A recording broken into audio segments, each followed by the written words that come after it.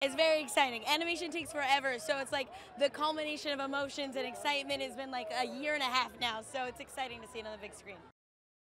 I grew up with the Nativity story. I've seen it reimagined hundreds of times. Every Christmas there's a new one. And we have yet to see it in this perspective that's portrayed from the animals um, that allows it just to be like more family friendly and there's my family. Yes!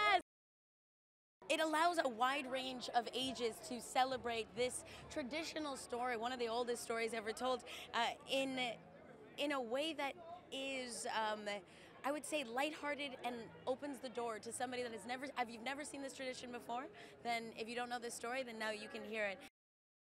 To be surrounded by so many amazing talents is very reassuring, knowing that when the collaboration happens, it's going to be an explosion of amazing talent.